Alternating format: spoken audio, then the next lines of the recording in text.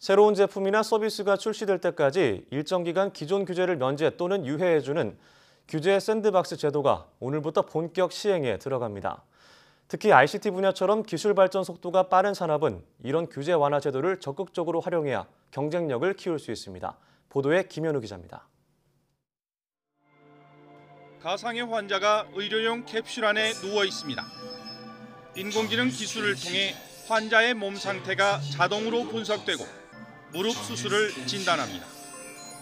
이후 원격 로봇 수술이 이루어집니다. 공상과학 영화에 나올 법한 이런 원격 의료는 5G 서비스가 상용화되면서 더욱 주목받고 있습니다.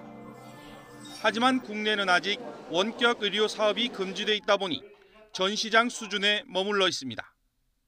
이 때문에 규제에 막힌 국내 기업들이 해외로 눈을 돌리고 있습니다. 네이버는 최근 소니와 손잡고 일본 원격 의료 시장에 진출했습니다. 고화질 고용량의 데이터 송수신이 가능한 5G 통신이 상용화되면서 드론이나 원격 의료, 자율주행 자동차 등이 미래 먹거리 분야로 급부상하고 있습니다.